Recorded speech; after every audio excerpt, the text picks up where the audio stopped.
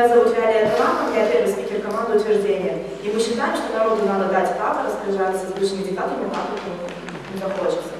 Кто такой диктатор? Диктатор – это единоличный правитель государства. Наш критерий – это благосостояние общества и благосостояние конкретного, конкретной личности в этом самом обществе. Какой у нас механизм приведения этой нашей идеи? Предоставляем народу право выбирать виды наказания, которые возможны, так же, как и виды его идеологизации. Так же, как мы предлагаем народу вернуть этого диктатора к власти. Это все предоставляется, это право народа. Мы будем проводить, мы предлагаем проводить референдум, на котором именно будет народ выражать свое мнение, чтобы было ясно, чтобы не избежать, избежать всяких казусов, вроде захвата диктатора только отдельной маленькой группы народа. Это неправильно, мы считаем, что народ.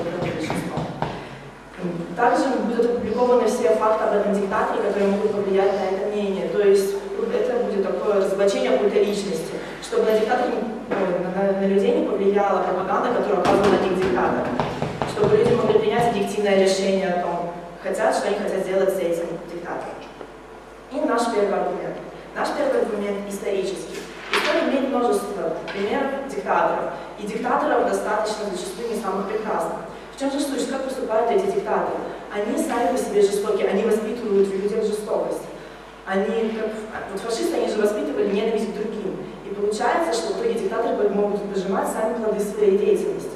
То есть, если диктатор воспитывает жестокость своих граждан, они порядочно кого-то унижать, убивать, впоследствии, когда этот диктатор становится ненужным, когда он удовлетворяет потребностям уже населения, когда диктатор уже отжил свое, то есть он больше ну, никак не нужен ничем никому не нравится, люди имеют право с ними связаться там. То есть, как вы думаете, то есть получается, диктатор возьмет плоды, он их научил жестокости, в итоге не, он эту жестокость получит. Таким образом, мы приведем к более гуманному обществу. То есть диктатор будет понимать, что нельзя учить жестокости людей. Надо учить их доброте и всей любви, и вообще всему прекрасному. То есть и таким образом мы получим гуманного диктатора, который будет уважать интересы людей, уважать личность каждого. И таким образом впоследствии Потому что он будет знать, что иначе его ждет что-то нехорошее. То, чему же он сам и научил. Он научил пытать, его и будут пытать. Это логично. Потому что... Ну да, это логично. Наш второй аргумент – это социальный. Власть невозможна без поддержки большинства. И если общество выбирает эту конкретную власть, если общество выбирает диктатора, значит, как тому быть, мы не имеем права отбирать право у общества выбирать себе диктатора. Власть невозможна без поддержки. Доверие людей действует крепче всяких любых законов. И право на и право по-всякому наказывать или не наказывать, это опять же то, что есть. Таким образом, человек получает свою зону комфорта. Он понимает, что именно то, что он хочет совершить, ему предоставляет. Мы можем привести пример, когда люди были недовольны диктатурой испанского диктатора 30-х годов, который, чья власть основывалась исключительно на оружии, то впоследствии они его свергли, когда им стало это недовольно. И наш третий аргумент. Наш третий аргумент психологический. Он основывается на том, что мы не имеем права у людей отбирать право осуществлять своих диктаторов. То есть люди же не только их ненавидят, люди не только казнят, люди не только, как то ну, не, недолюбливают своих диктаторов и выявляют в них свою жестокость, они также их идеологизируют, хотят вернуть к власти. Мы не можем насмеиваться над людьми за то, что они идеализируют своего вождя, мы не можем отбирать у них это, потому что они выбрали, так как мы уже, я уже говорила, это именно основывается на власти большинства диктатур. То есть получается, что люди сами выбрали этого диктатора, они сами довольны им.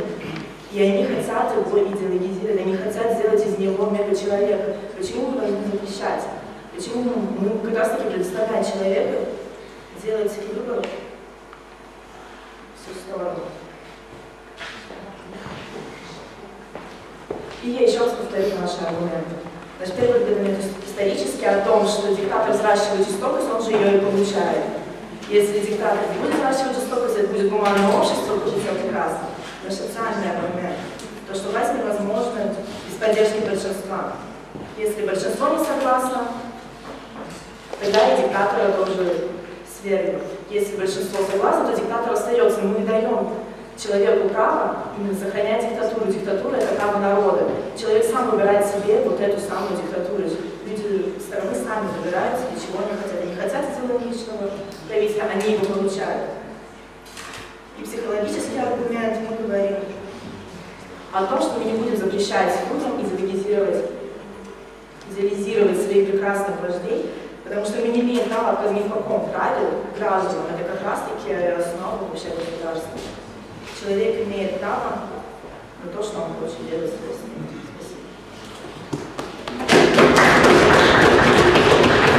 Благодарим вас за выступление. Минута вам требуется да, для подготовки к раунду перекрестных вопросов. Прошу вас.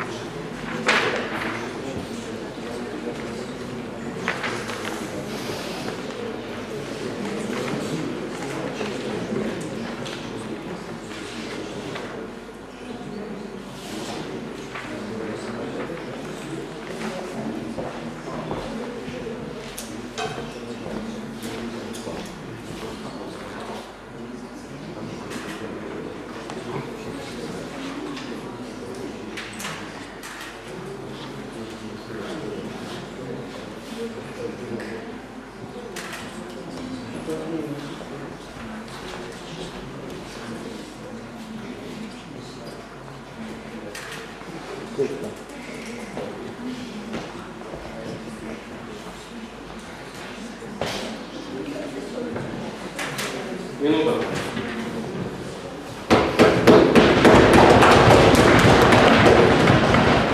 На раунд перекрестных вопросов у вас есть три минуты. Прошу вас, приступайте. Добрый день. По ходу речи у меня возникло несколько два вопросов, и я их вам сейчас задам.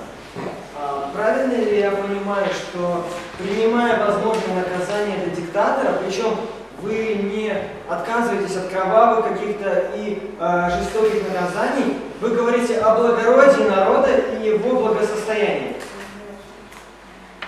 Ну, да, мы согласны на то наказание, которое будет. Хорошо, а не кажется ли вам, что любую личность должен судить суд, соответственно, и выносить какие-то наказания? Так это соизмеримо большой-большой командой. Тут весь народ голосует на референдуме. Мы согласили, и там будет представлено именно точки зрения, точки зрения того, как диктатор себя поставлял, и точки зрения того, что имеется в виду. А, Тогда вы подразумеваете уже больше такой как бы суд, э, где присяжных, да? Я правильно понимаю? Суд присяжных, можно Нет, сказать? суд присяжных всех сторон референдум. Референдум это не есть суд из нескольких десяти людей. Референдум это когда каждый гражданин идет в суд. Я и подразумеваю большое количество такое. Но вам не кажется, что в любом э, принятии любой э, решения, особенно если это будет касаться чьей-то смерти, должна в первую очередь присутствовать объективность и непредвзятость мнений? Да, мы так считаем, поэтому диктаторе. То есть вы считаете, что ту информацию, которую вы представите для диктатора, ее будет достаточно для того, чтобы народ, возможно, кто-то оскорбленный лично, а возможно, тот, кто любящий этого диктатора, примет объективное решение?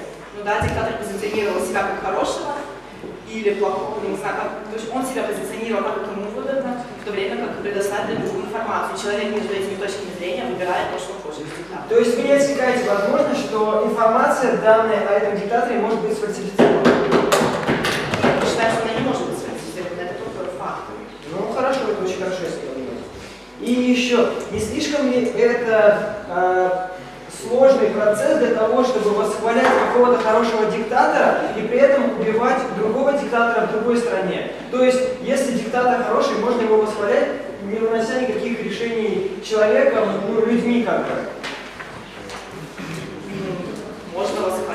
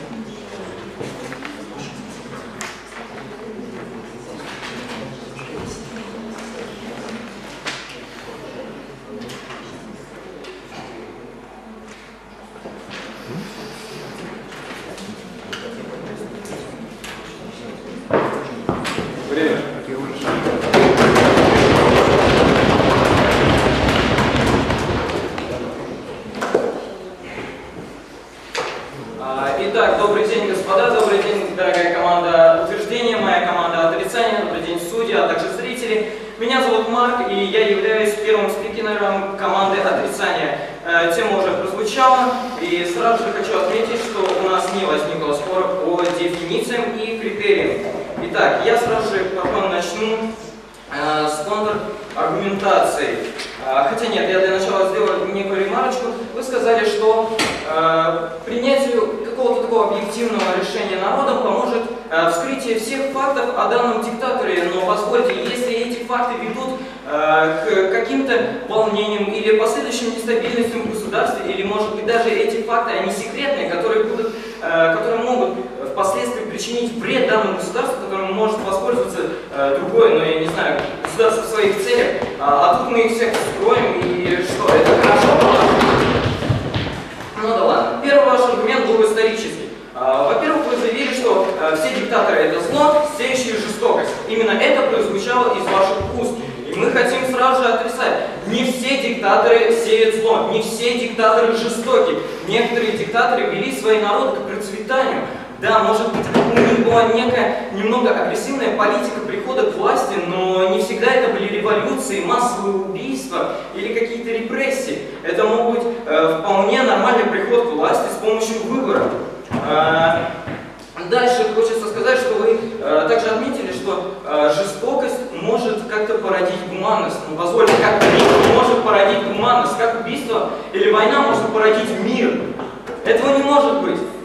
Вторым вашим аргументом было то, что э, общество как бы само выбирает диктатора. Нет, общество не выбирает диктатора. Общество выбирает правительство, которое впоследствии уже принимает решение диктатором или ну как, э, вводить какой-то тоталитарный режим и так далее. Общество выбирает всего лишь э, правители и не выбирает форму правления. Э, Третьим вашим аргументом был так называемый психологический, что мы не имеем права отнимать у людей, например, любовь к своему диктатору. Ну хорошо, тут же мы вам приводим в пример Корею, где диктатор был идеализирован, поднят вверх э, самим же, причем государством, самим государством он поднят вверх. И теперь что мы имеем? Мы имеем э, государство, в котором все уважают своего лидера, его и идеализировали, а сейчас это государство угрожает нам Третьей мировой войной, угрожает ядерной войной, вследствие которой может погибнуть планета, а народ за него, он поддержит это решение.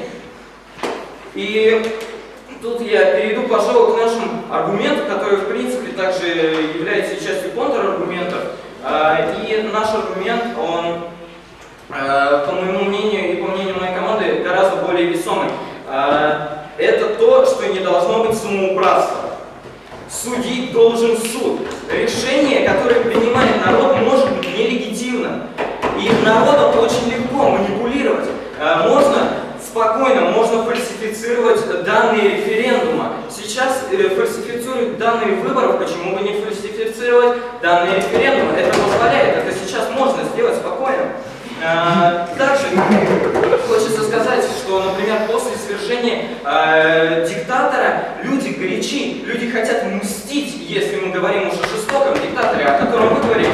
Люди хотят мстить, они хотят вывести его на базарную площадь и закидать камнями. Разве это правильно? Мы должны им позволять это делать или нет? Или мы все же должны предать его суду? По моему мнению, э, следственные органы должны решать, во-первых, преступник он или нет. И вот уже на основании этого суд должен выносить объективную оценку всему и решать, какое наказание будет у данного диктатора.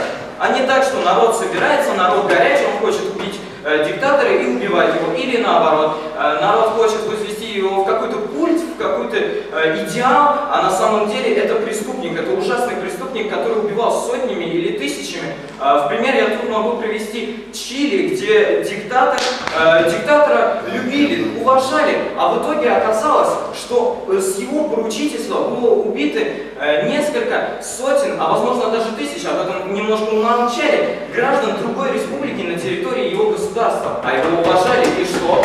Его должны судить как преступника, а не народ решает, что вот он такой хороший, и мы его должны возвести а, в какой-то идеал.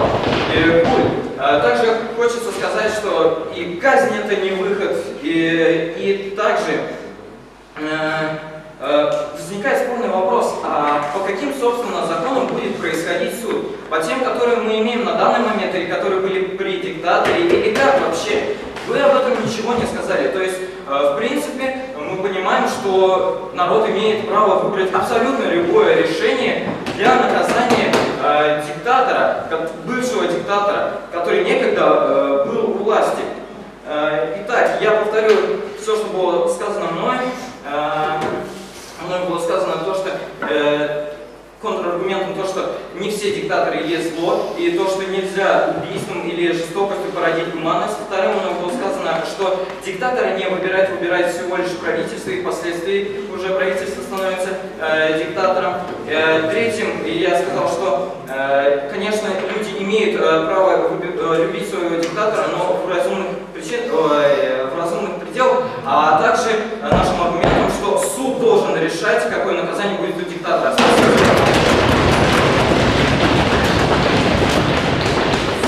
Уважаемая команда оппонентов, требуется ли вам время для подготовки к раунду перекрестных вопросов? Нет. В таком случае прошу вас поискать. Добрый день, уважаемая аудитория, добрый день, уважаемая команда оппонентов. Очень рад э, с вами участвовать в финале, и у меня есть несколько вопросов к первому спикеру. Э, собственно, во-первых, вы говорите, э, я хочу задать такой вопрос вам, как свергают диктаторов, раз уж мы говорим о бывших диктаторах? А, есть множество путей свержения диктатора, начиная с революции и заканчивая спокойными мирными способами. Э, окей, революцию производит народ. То есть он недоволен этом. Революционеры, это может быть не весь народ недоволен. Это может быть люди, которые так сблагоразумело, что им не нравится, они пошли, устроили переворот. Их устраивать. Ладно, спасибо. Э, Говорили, что диктаторов Чили любили, а он оказался плохой, но если бы народ узнал те факты, которые э, мы все с вами знаем о нем, то смог бы он объективно оценить его роль для государства и объективно принять его решение? А, ну, была попытка такая, и они, собственно, не смогли ему ничего так э, судить. Его судил не суд, допустим, и не народ государства Чили, его судила почему-то э, коллегия лордов, находящихся Почему? Вы считаете это правильно?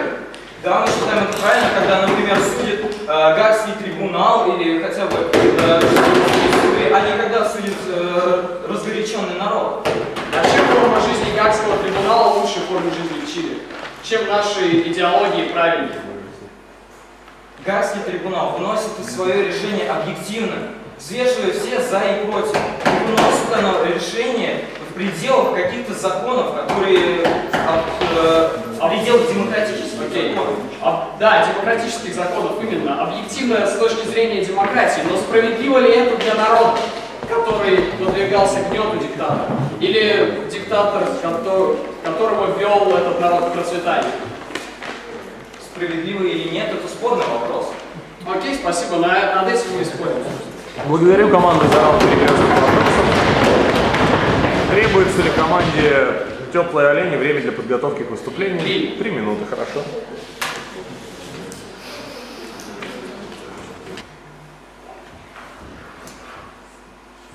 Так, здравствуйте. И я второй спикер команды утверждения. Сегодня мы играем на тему «Народ этого государства имеет право поступать с бывшим диктатором именно так, как считает нужным». И мы, естественно, полностью согласны э, с этим утверждением, потому что мы, от, э, мы отстаиваем интересы народа, того народа, э, который был подвержен влиянию этого диктатора, этой самой диктатуры. И сразу же перейду к опровержению аргумента команды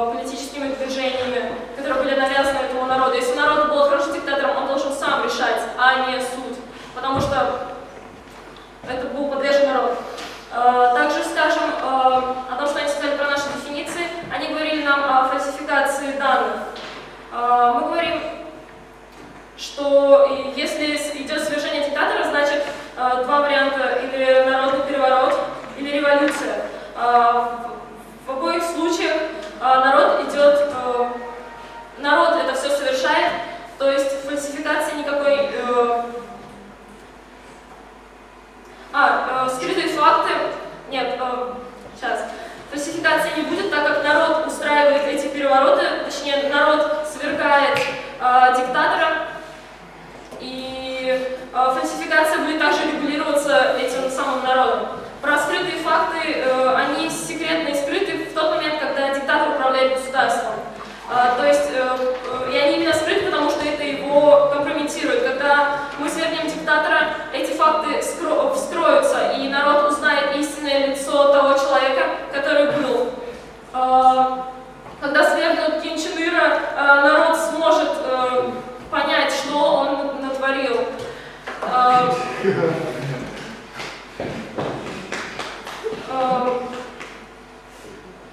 и тогда уже точно решить, что с ним делать, сам народ. Итак, я перейду к нашим аргументам. Наш первый аргумент был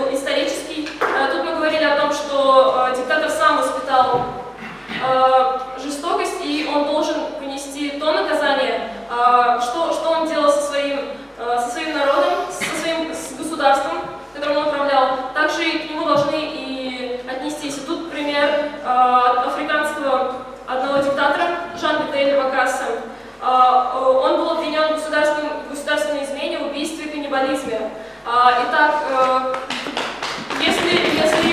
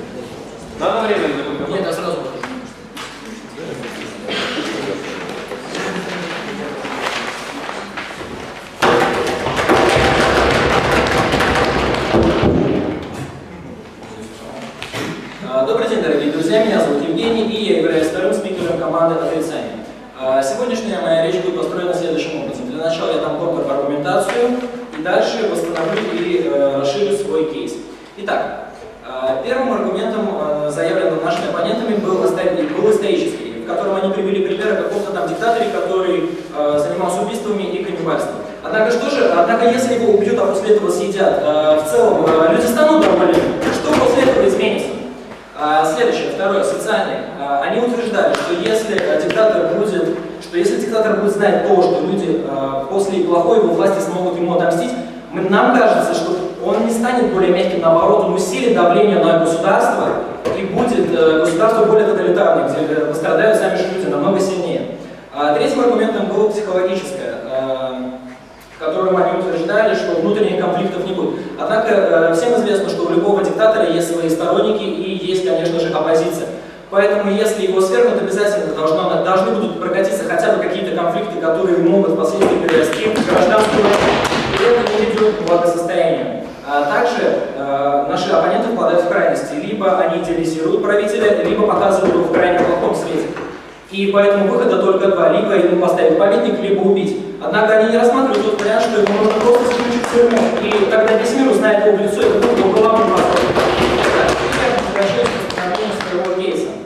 А, наши оппоненты утверждали, что решать должен э, народ, а не суд. Однако почему люди, которые абсолютно не имеют никакого отношения к политике, которые далеки от политики, которые руководствуются своими глупыми животными эмоциями, должны решать такую важную, такой важный вопрос, как жизнь человека, жить человека или не жить?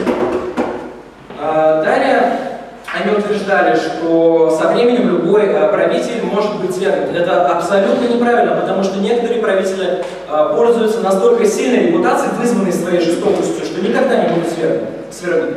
Далее восстанов- э, займусь восстановлением своего кейса. Итак, в смысле решением. Наш аргумент звучал как решение будет нелегитимным.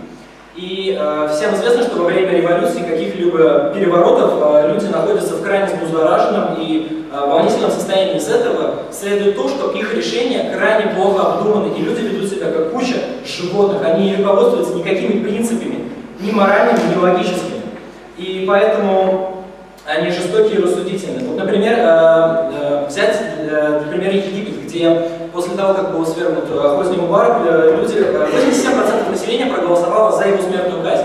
Однако вследствие э, конфликта в стране э, ее не привели сразу же в исполнение и э, его оставили в камере смерти. Через полгода 39% всего лишь были за то, чтобы его казнить. э, Люди имеют свойство менять свое мнение. А также рассмотрим другой пример. Другим примером будет являться Ливия. Это пример навязанной революции. А в свое время Ливия, э, индекс развития человека Ливии был 0,7. Это называется высокий показатель. Показатель Эстонии 0,75. То есть, в принципе, по этому индексу страны были равны. А вот по ВВП Ливия занимала 55 место, в то время как Эстония занимает только 109. Поэтому очень глупо было утверждать, очень было глупо утверждение со стороны СМИ, что Ливия очень бедная страна. Это видно из статистики, то, что страна живет богато. Причем статистика сделана не самой Ливией, а международными независимыми службами. Итак, как же, как же все постояло?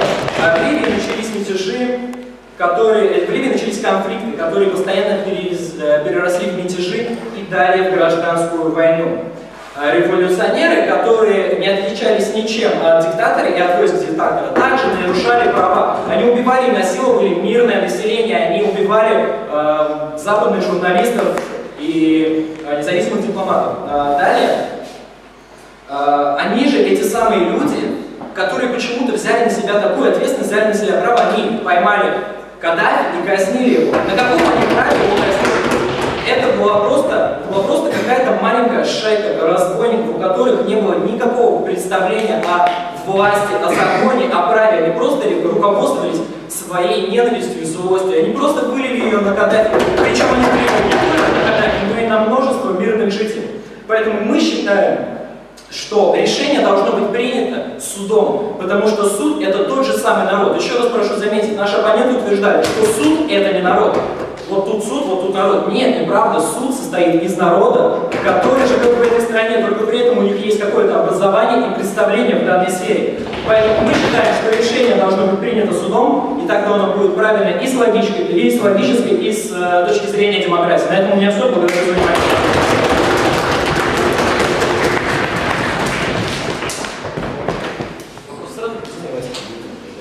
А, требуется ли вам время для подготовки к раунду перекрестных вопросов? У вас три с половиной минуты, если вам это интересно.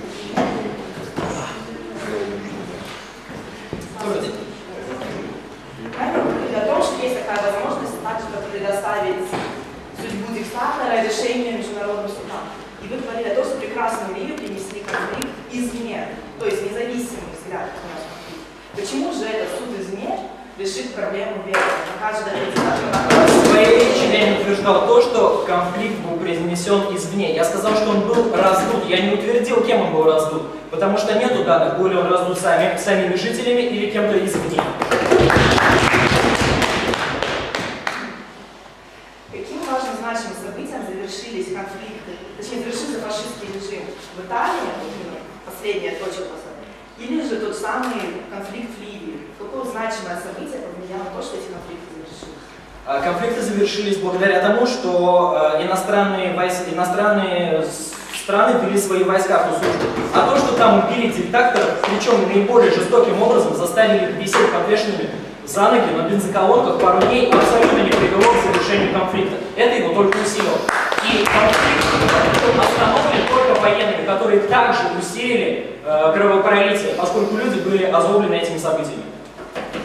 А эти подвешенные диктаторы могут напугать следующего диктатора, который захотел также издеваться над народом? Э, как я уже сказал в своей речи, это было, насколько я помню, э, контраргументация к вашей э, речи, это не то, чтобы э, заставить следующего диктатора испугаться, просто задуматься над тем, как можно усилить свою охрану и как сильнее манипулировать людьми. Насколько, насколько сильнее и жесто, э, жестче надо себя вести политики. Не останавливает диктатора от злодеяний. То есть зачем тогда вообще вся система правосудия? Зачем мы знаем, что нас накажут за злодеяния? В чем суть? Чем диктатор отличается от того самого обычного человека? Почему он не боится наказания? А, возможно, это связано с тем, что диктатор проживает очень яркую жизнь э, за то время своего правления. И, э, скажем так, он все попробовал, ему не нужно бояться.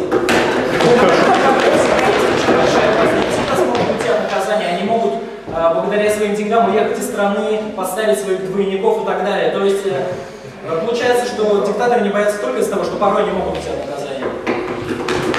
Пожалуйста.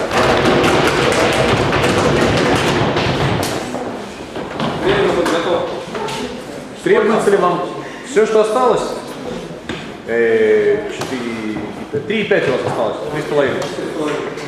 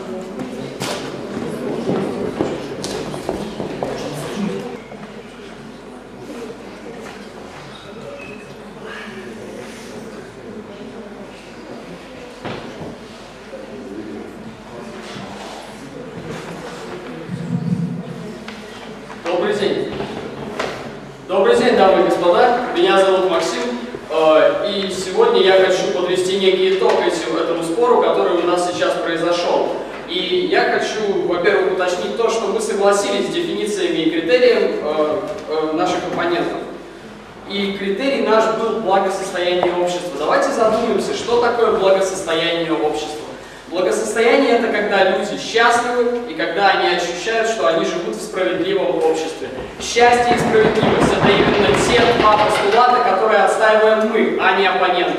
И сейчас я объясню почему. Для начала давайте задумаемся о роли государства. Что такое государство и зачем оно нужно? Государство – это некая, некая структура, которая ведет в жизнь людей контроль, которая приводит их к некому счастью, у которого есть определенная цель и у которого есть определенная иерархия. Э, в чем мы радикально отличаемся от наших оппонентов? В том, что у нас другое отношение к диктатуре. У наших оппонентов резко негативное отношение к диктатуре. Оно навязано им э, теми ценностями, которые верны в нашем обществе. Но я считаю, что те ценности демократические, которые верны в нашем обществе, имеют право не быть в другом обществе. Они имеют право не быть верны, потому что э, никто не знает, как жить и также этого не знаем мы, также этого не знают диктаторы, но у них есть другое мнение на то, как жить, на то, как нести людям счастье, на то, как нести людям справедливость. Наше отношение к диктатуре нейтральное. Мы считаем, что дикта диктатуры есть э, э, как позитивные, так и негативные, но в целом наше отношение к диктатуре нейтральное. И в зависимости от того, какая диктатура э, существует в стране, такая судьба и будет у диктатуры и диктатора. Э, почему? Потому что диктатор несет личную ответственность э, за свое государство. Если диктатор э, сверг прежнюю власть и встал во главе государства, тогда он является единоличным обладателем власти, единоличным представителем этого государства. Он, по сути, является государством. Я есть эта страна. И поэтому он несет ответственность за это государство. Э, мы предлагаем рассматривать страны как личности. Страны в мировом сообществе э, сообщаются между собой точно так же, как мы с вами. И здесь мы защищаем либеральность, мы защищаем невмешательство в дела других стран. Э, пусть они делают там, что хотят. У нас у всех разные тараканы в голове. Я, может быть, сатанист, но если это не вас никак не, никак не нарушает ваши права, тогда все в порядке. Если же это нарушает ваши права, как в примере Северной Кореи, тогда да, э, мировое сообщество должно вмешаться в такую диктатуру и э, свергнуть диктатора. Но э, важно то, что э, диктатура это как отдельная личность, и мы должны отстаивать ее индивидуальность. Э, и также это будет справедливо э, с точки зрения либерализма. Э, мы считаем, что хватит навязывать демократию тем странам, которые ее не хотят, тем странам, которые имеют другое мнение. Э, вы предлагаете, вы говорите, что Каддафи казнила шайка разбойников в Ливии. Но чем отличается Гагский суд от этой шайки разбойников? Э, почему, почему мнение Гагского суда верное, а мнение шайки разбойников неверное? Откуда они знают, как жить? Никто не знает, как жить. И поэтому мы считаем, что если диктатор ведет народ к счастью, а, а именно, то этот диктатор имеет право на то, чтобы его вернули к власти. Если диктатор не ведет народ к счастью, то справедливым будет то, что народ сделает с ним то, что захочет. Потому что диктатор представляет именно это государство, именно этот народ, и он стоит во главе этого государства, это и есть диктатура. А, давайте подумаем над тем, как свергаются диктаторы. Диктаторы могут свергаться либо а, международным сообществом, либо внутренними какими-то междуусобицами. Если это а, произошло внутреннее свержение, тогда народ недоволен этим диктатором, тогда будет справедливо, чтобы народ сам вынес э, решение по поводу этого диктатора. Если же э, это произошло если мы спровоцировали это свержение диктатора, и он стал бывшим диктатором, тогда мы проведем этот референдум, он будет справедливым, мы сами проследим за тем, чтобы э, факты не были сфальсифицированы, чтобы народ принял адекватное решение. Потому что народ в данном случае является объективным и легитимным выборщиком именно потому, что он знает, был он счастлив, Чувствовал ли он себя защищенным? Чувствовал ли он чувство справедливости в своей стране при власти этого диктатора? диктатора. Таким образом, мы отстаиваем счастье и справедливость. Спасибо большое.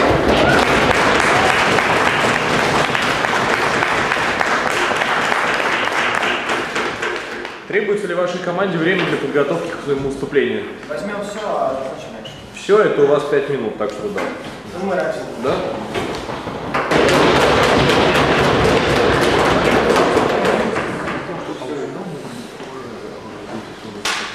Добрый день, дорогие друзья. Сегодня мы говорим на такую интересную тему, которую все видят, поэтому называть я ее не буду. А, с дефинициями и критериями мы были согласны, поэтому спора поэтому у нас не возникло. И сегодняшний анализ я сделаю следующим образом. Я а, выделю ключевой клэш данной игры, а также докажу и покажу, почему именно наша позиция оказалась намного сильнее, гуманнее позиции утверждения. А, идеей Наша идея была сегодня показать, что жестокость никогда не может быть оправдана. И жестокость побуждает только дальнейшую жестокость.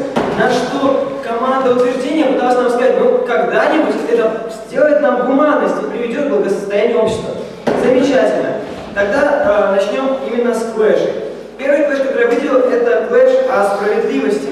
Давайте рассмотрим справедливость, которую пытается нам подсунуть команда утверждения. Нам говорят о том, что необъективная власть массы народа и решения, которые бывают чаще всего горячие, это было подтверждено уже нашими фактами второго спикера, они э, являются справедливыми, то есть это и есть справедливость, по идее. Вот эти жестокость и э, инстинкты животные вместе и есть справедливость.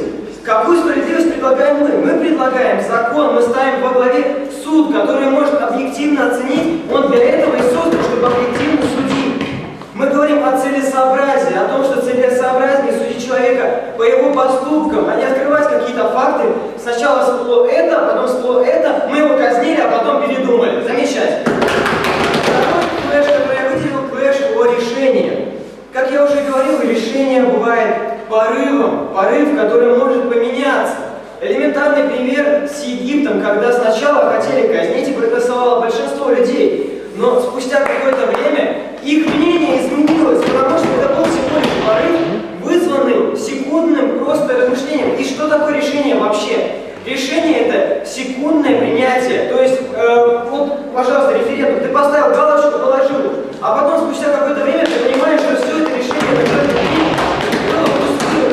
Что предлагаем мы? Мы хотим огородить общество от этого. Мы не хотим, чтобы люди сожалели о своих поступках, которые они поставят в этих референдумах. Мы хотим, чтобы решения выбирались только так, как они должны на уровне суда, а не то, чтобы люди потом несли за это ответственность. Потому что они будут нести ответственность хотя бы на моральном уровне, если их решение будет неоправданным. А эти, эти факты всплывут потом, я уверен. Решение наше непрецедентное, наше решение независимо. За этого и существует суд, чтобы показать, можно судить людей объективно за их поступки, за то, что они совершили. Следующий clash, который я выделил, clash о внимании. Что же предлагает нам команда утверждения? Внимание – это либо идеализация диктатора, либо показание его жестокости, то есть тем самым смертью, можно сказать так. И это внимание намного, они ставят это как наказание, либо возвышение, намного ценнее того, что человек может испытать, допустим, сидя в заключении вечно, допустим, ну не вечно до своей смерти, естественно. Мы, мы поставили такой факт, что если человек будет сидеть в тюрьме, и его осудит суд за это, объективно осудит, а не люди, которые сгоряча приняли решение убить, там, подвесить на бензоколонке, ну давайте правильно теперь каждого, если террористическая группа какая-то, которая в Ливии э, казнила, это объективное решение народа, давайте собираться компашками и будем всех мочить, кто нам не нравится. Мы считаем, что заключая человека, допустим, даже в, э, в тюрьму, и при этом, если его будет даже тот же трибунал судить, мы осветим это событие на весь мир, и люди будут осуждать этого человека, и это будет ему наказанием. И при этом люди будут чувствовать, что они никак от этого не пострадали, они проявили свою демократию, проявили свое благородие, потому что далее доверили это дело суду, который беспрецедентно объективен. И в завершении своей речи я сделаю небольшое возвышение о том, что же будет, если мы э, будем, э, как животные, принимать решения диктаторов очень хаотично, необдуманно. Диктатура у нас либо будет это хорошо, то есть мы ставим И э, действия диктатуры либо мотивированы, либо они приводят к разбою. Так или иначе, мы сделаем, приведем такую, что мы либо идеализируем это, либо приводим страну к разбою, потому что, как я уже говорил, жестокость побуждает только жестокость. Спасибо за внимание.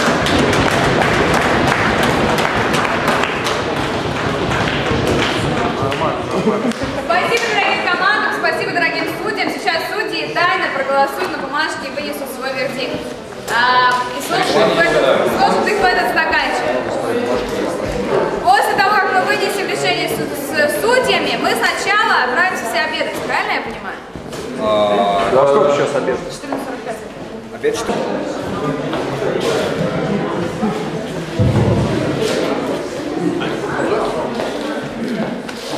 Сейчас я